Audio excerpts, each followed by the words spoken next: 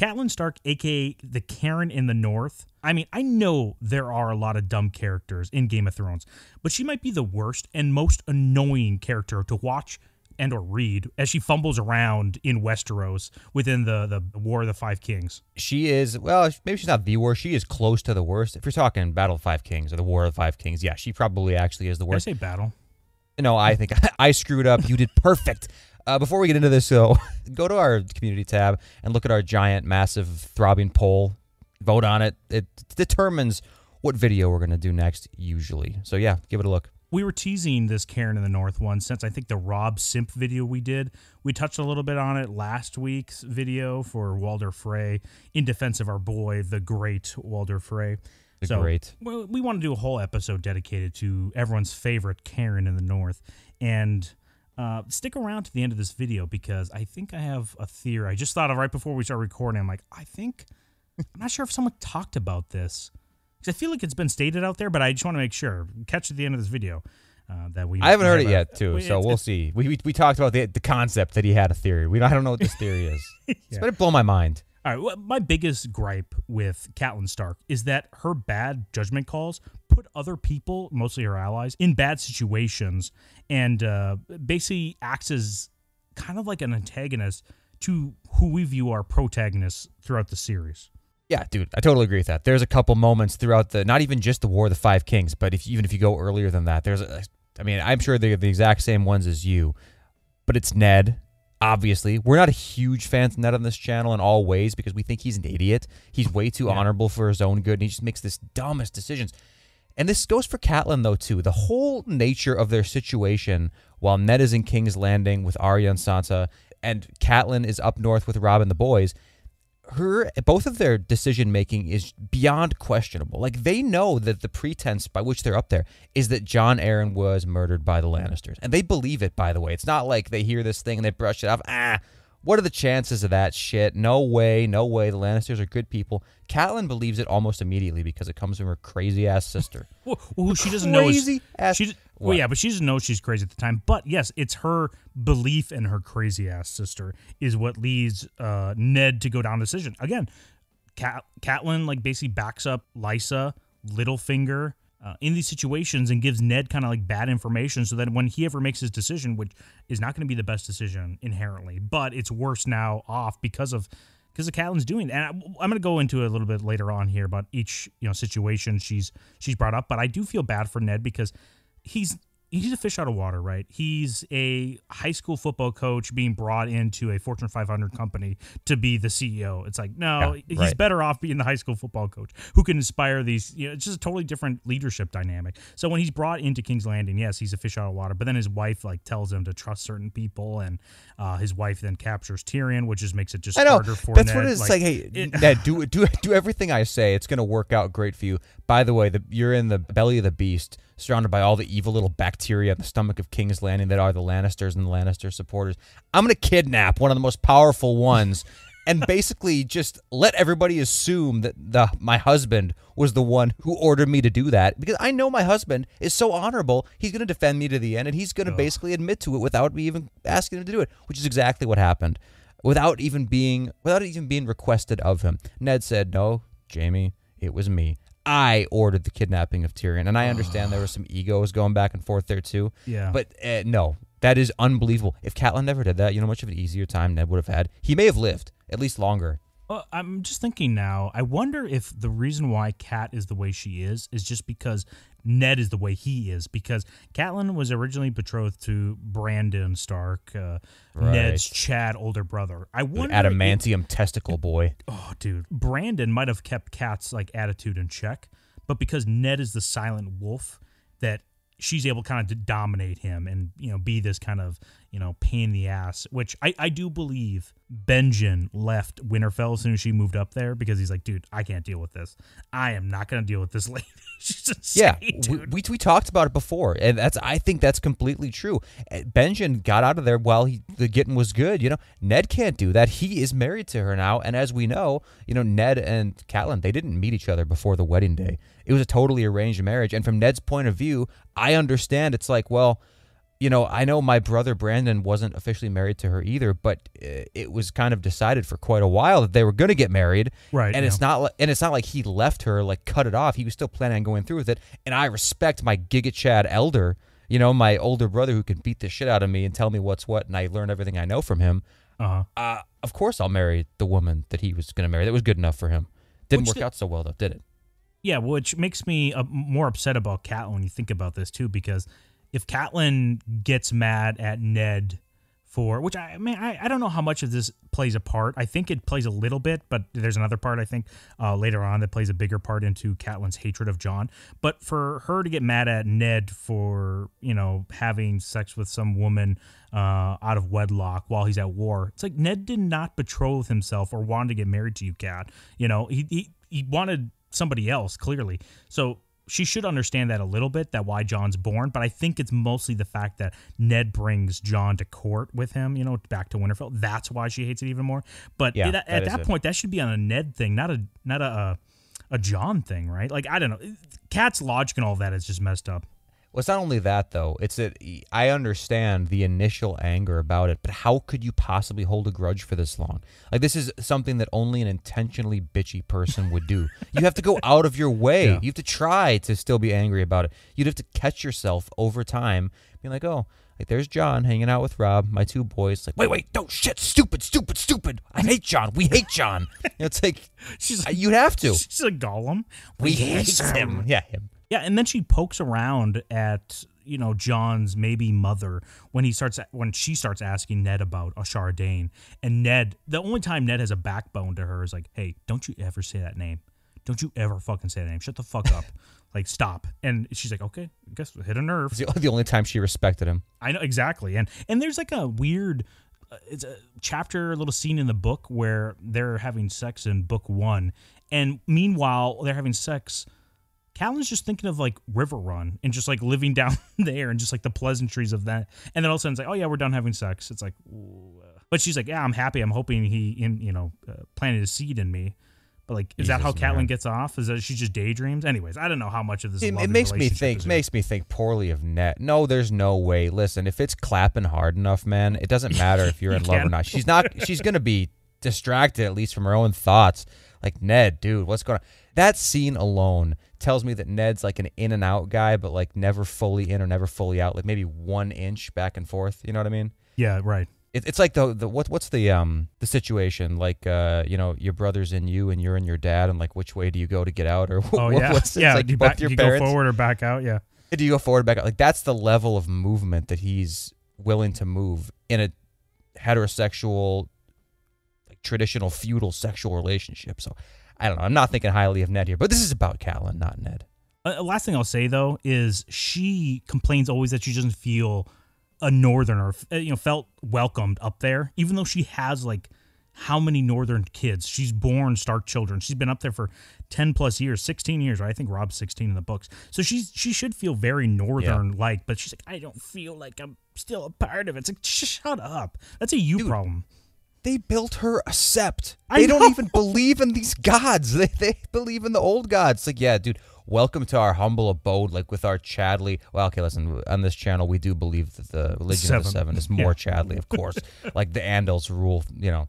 But Uh, but in Winterfell, you know, being like culturally relative here, they have the old gods. Why should they feel obligated to build a sept of the newer gods? Why should they feel obligated? They had to do it just to appease the super bitch, the Karen of the North. right, and, And she it- still isn't happy with it. it would seem like simp behavior if we didn't already know the context around Catelyn, and it might just be Ned, Yeah. just like, okay, fine, I'll build you the sept, and you can just stop talking, please. Just go there and pray, please.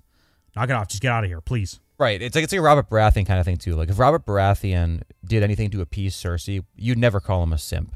He's clearly just doing it to like get her out. Yeah, exactly. So, so what do you think about when people compare Catelyn to Tywin in their kind of like aspects to their bastard slash you know dwarf children? You know, I know it's not her bastard son, right? But it's a bastard within her family.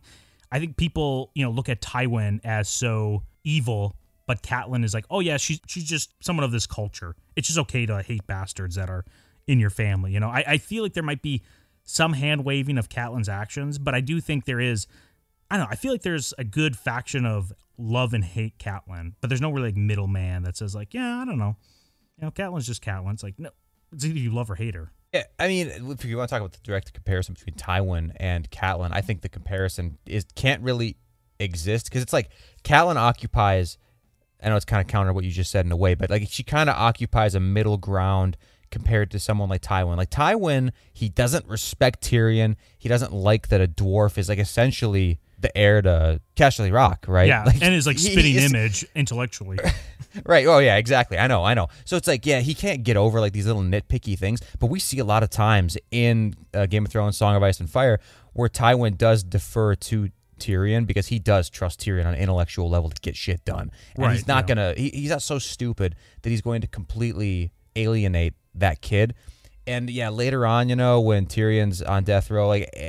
Honestly, we're never going to know the answer to it. Would Tywin have actually let Tyrion die? Probably, but we don't know the answer to that question. Just assuming yes, though, I don't think Catelyn openly wishes for Jon's death. Oh, maybe she does. Now that I'm I think thinking she about it, I, may- Yeah, I think she does. I think so too. But, but the difference, I, see, this is what I was going to say. I was going to say she occupies this middle ground because one, she would never trust Jon intellectually or like put him in any position of power willingly at all, ever. But she also wouldn't let him die or wish him death. But now I actually think that she would wish death upon him. So no, I think Tywin is actually just completely better because at least he does have some sort of baseline respect for Tyrion. And at least it's based on something, like a little bit, right? Like if you're going to be the lord of a noble house, you probably want that figure to be intimidating in all ways, including visually. And I know that's still shallow, but I mean, this is like medieval times, dude. You know, it's kind of it's kind of animal. It's kind of Animal Kingdom versus versus Catelyn, which who has absolutely no basis for hating Jon whatsoever. Like you arrived at court a little bit before me and Robb. Boo Yeah. fucking who? Yeah, well, the- the thing with Tywin and Catelyn is Tywin at least makes like a bunch of other great moves strategically. Catelyn does not.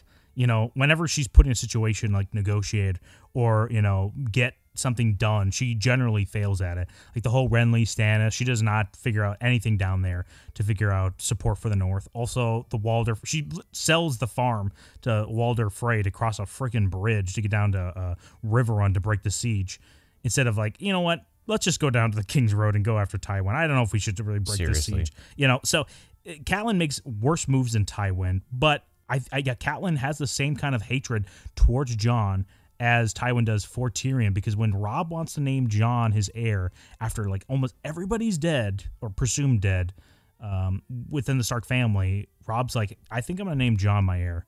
And Catelyn's like, Don't you dare! Don't you dare! I don't want to see him up there. It's like, chill out.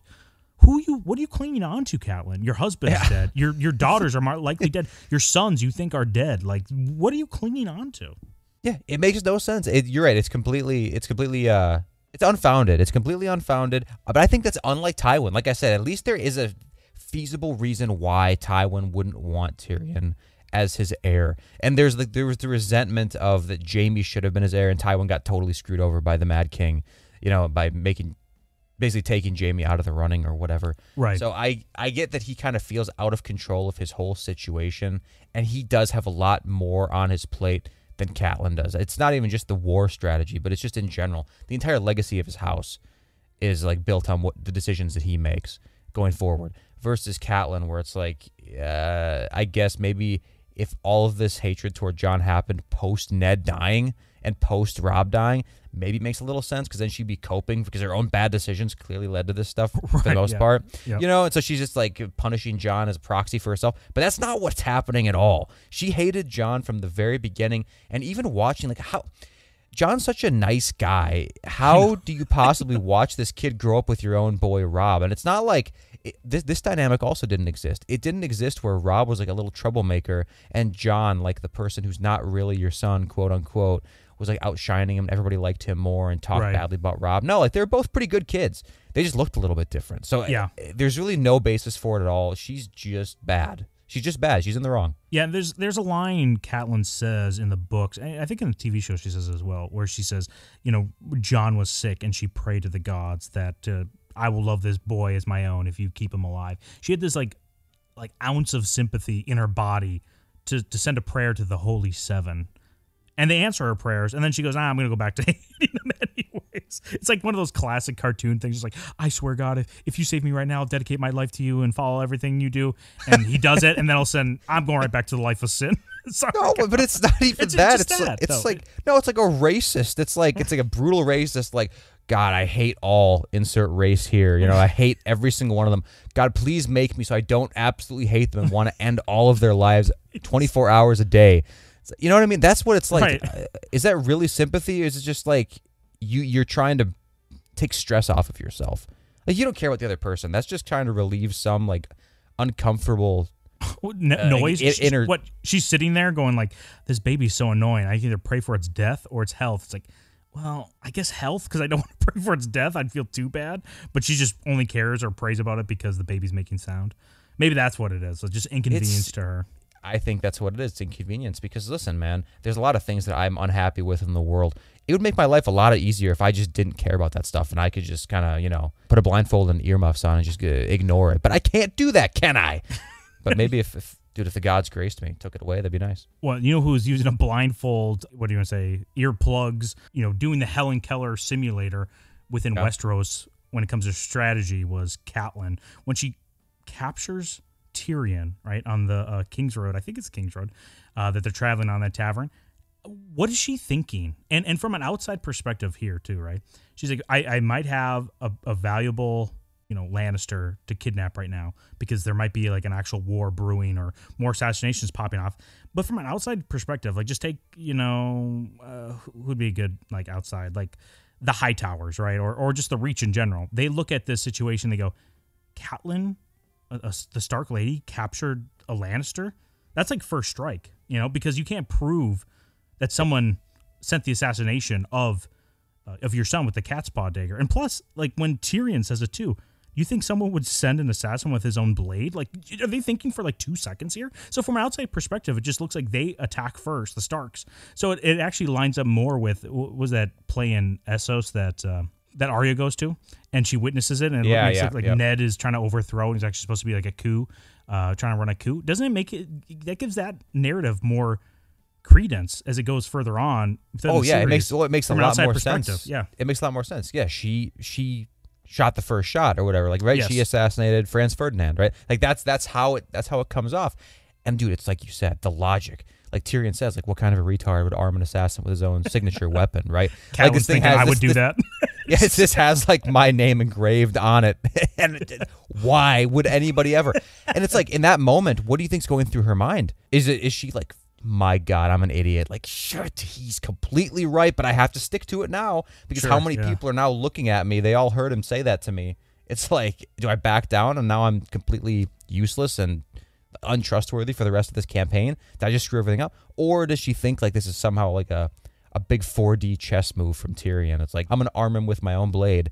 Then I'm gonna bring up how stupid it would be if I armed him with my own blade, just to throw her off the trail. Really, it was me the whole time. It's like I, I don't know. I don't know. I, I think that's possibly the dumbest decision of all because you could argue that the kidnapping of Tyrion really is what lit the match that started this whole conflict. Like maybe it would have petered out without this moment. Right. Yeah. It definitely put more uh, because I think whoever sent, well, there's a theory that whoever sent the assassin, it could be Littlefinger, or I, I kind of believe this more that uh, Joffrey maybe sent the assassin.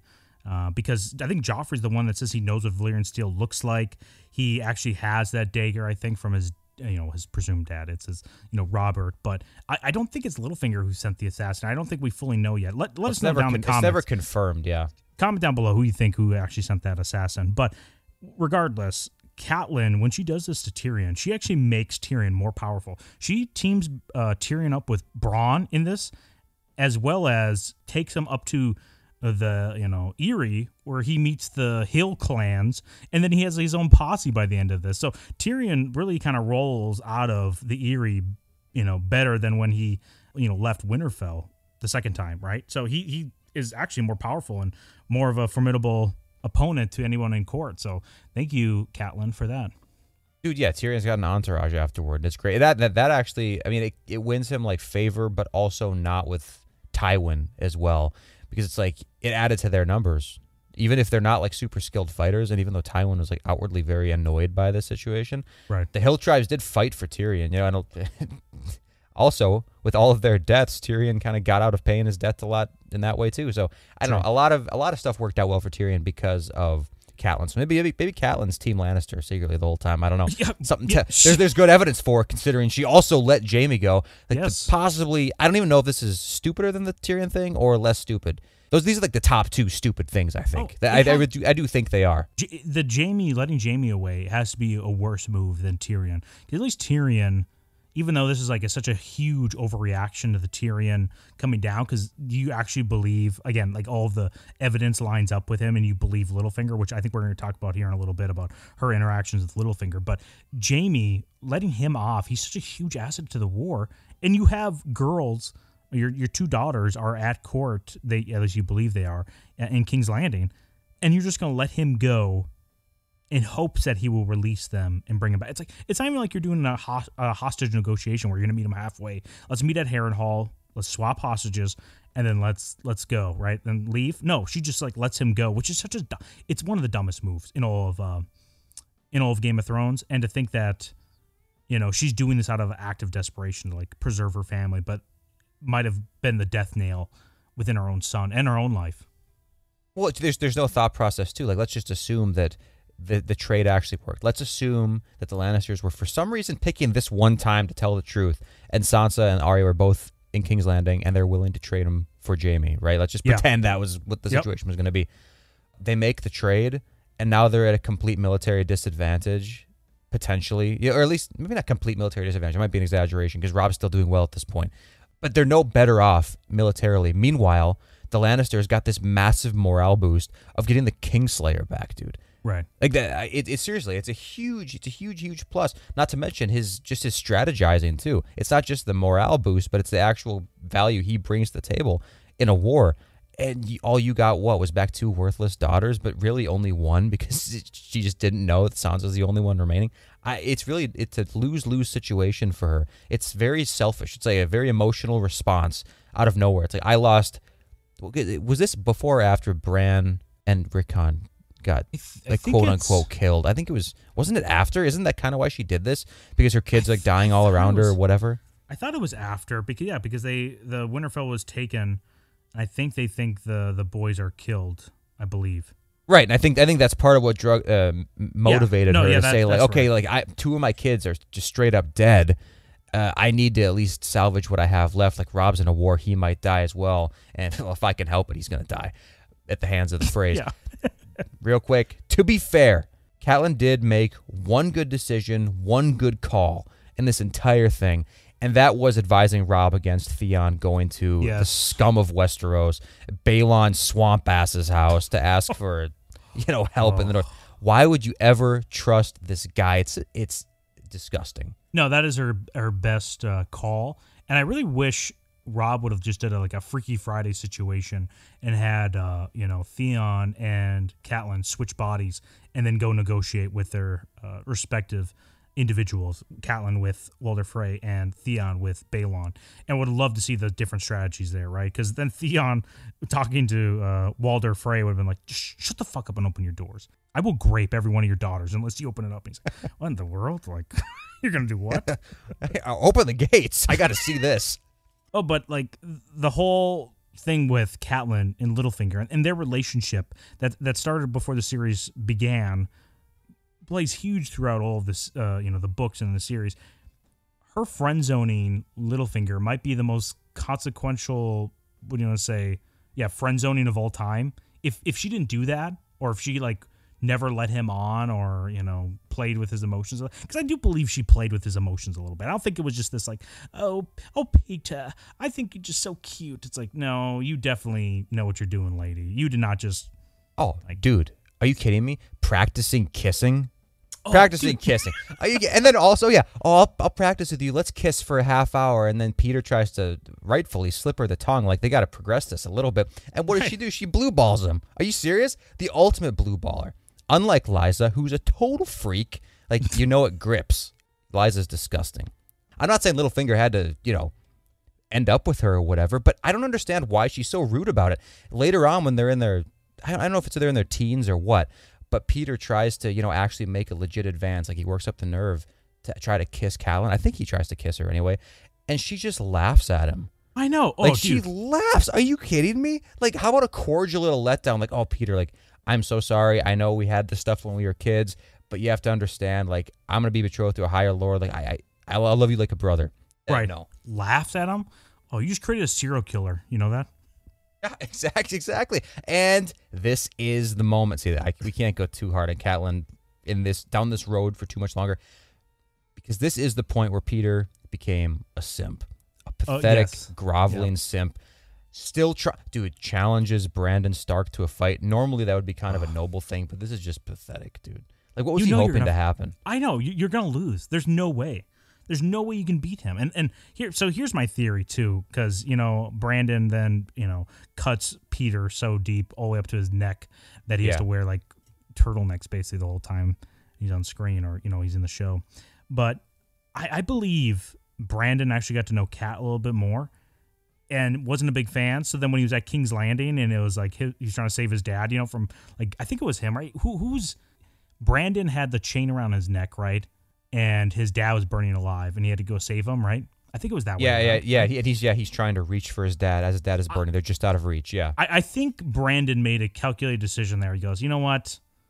I think I'm just gonna kill myself. He's like, Brandon, you can reach it. Just lean over to the right. He's like, Nope, I can't. I'm just gonna choke myself because I don't want to go back up to cat. yeah, I can see that being true. I, I, I don't know. I'm, I'm thinking, you know, it's, I have another theory too, but that now that I'm thinking about it, I'm just like, Cat is so insufferable, and if he knew as much as he should know about Cat, um, but then again, maybe, I, you know, I said earlier that Brandon might be the person to be able to like put the guardrails on Cat's behavior, but seeing how she treated Peter, that might not be the case. She might already be like a, you know, uh, what do you want to say? I don't know how else to describe her. She's not a homewrecker. She's not a hellion. She's just like an evil woman, I guess. She is. She to gets off hearts. on. She gets off on blue ball, and she gets off. She's like a super prude, except with probably Brandon. She's probably a freak with Brandon. We know that she's bored as hell with Ned, so she's got to be used to some freaky stuff. Did she keep her maidenhead for Ned? Was that ever established? believe she did, but I, I don't think she broke it with Brandon. Uh, I don't No, not with Brandon, but I'm, I'm guessing she Oh, got some practice with the local Chads. Yeah, down in Riverrun. Like I don't see any Not other way.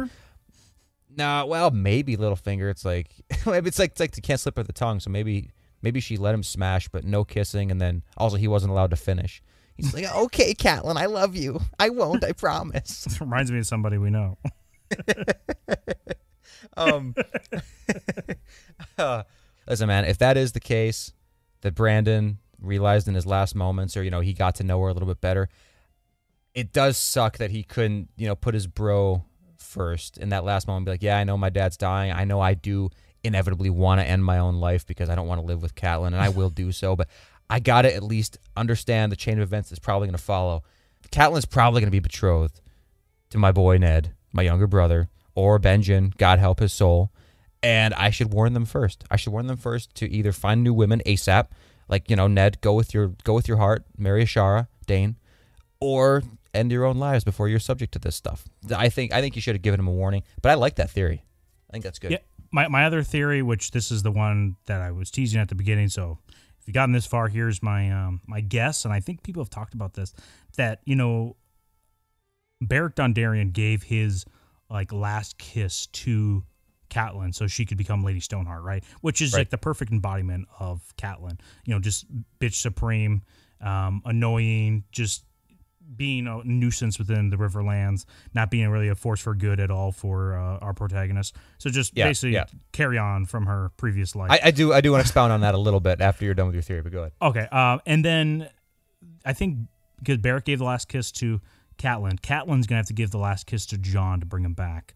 I, I don't know how you get her up to the north, but it'd just be so funny. I, I don't know. I- I really re- wish it was like a revenge fuck, you know, for them. But I mean, that might be too They're far. gonna fuck. They're going all the way. I wish I would, dude. Did he finish or no? Is it like I'll- Peter? uh, send any like uh, He wants to so hold on, bad. s- send any Rule Thirty Four art of of uh, Jon Snow being brought back to life by you know Lady Stoneheart to 1600 Pennsylvania Avenue. That's where we'll be receiving all of our fan Yeah, art. that's our that's our. PO box. So send it all there, please. I like that theory. I think that's a good theory. I'd like to have if that happens. That's kind of full circle. That's like character development for her for the first time, right? Like she has to go with what she hates and like she understands that fucking Jon, the person that she hates the most, is for the good of the greater realm. Uh, Yes. And you know they're not blood related, so there's like no taboo there. Maybe she'll finally enjoy. it. Maybe she won't be thinking about Riverrun for once. Maybe it's the hate that'll fuel her enjoyment for sex. Maybe it's a sexual awakening for her, and it turns into that kind of a thing. but now she's if, if it, but if this is her last kiss, then she dies afterwards. So that's kind of like the divine punishment of it, right? Like she finally oh. realizes Oh. what she loved was the thing she hated the whole time. Like Jon was the it's you know her stupid emotional mind, which we've already established. Every decision she makes is pure emotion without any thought going into it beforehand. Right. So it's like the first emotion she felt when seeing Jon was hate, and that fine line between love and hate is so thin that she really secretly loved Jon the whole time, and she wanted nothing more than to take his V card and his A card and everything else, right? And she Yep. finally did it, and then dead. That's that's a, that's like a very tragic character arc for her. But listen, Lady Stoneheart, I think, like you said, is the epitome of her character. It's like Yes. uh, if you if you like brought it down to its most simple components and then just set it it. loose on the world. Yeah, exactly. You distill it, you chemically castrate it, but then you take Okay, what you don't know about cast. no, you take the castration portion, like the substance, the virility, and that's Lady Stoneheart. It's like lack of accountability and entitlement, like incarnate. She takes no responsibility for her own mistakes when she's alive at Yep. all. And now she's reborn with the sole purpose of taking revenge on the select few people that made her take accountability for her actions. That being like the phrase anybody involved with the Red Wedding and the Lannisters. Like it just keeps on expanding outward and outward and outward too, because she knows deep down the, the series of unfortunate events that is her life. eh, they all it, it's her it's her fault. Everything's her fault, and she knows it but she's trying to project it and take it out on everybody else. And because no matter how many people that actually surrounded these situations that she lived through die, it never satisfies her. She just needs to keep on branching outward and outward and outward, and eventually she'll overtake the world. So I think I think it's the ultimate embodiment of what uh, George, my buddy George, was trying to say with her character. Oh yeah, Big G. Uh, definitely wanted to give us the last uh, hint. You know, the whatever you want to say, like the book over the head, like you idiot. Don't you see she's an insufferable bitch this whole time? Do I have to like spell it out for you? Hey, thanks for watching this video. Be sure to subscribe if you want to see more content like this and smash that like button. Or not. We don't care.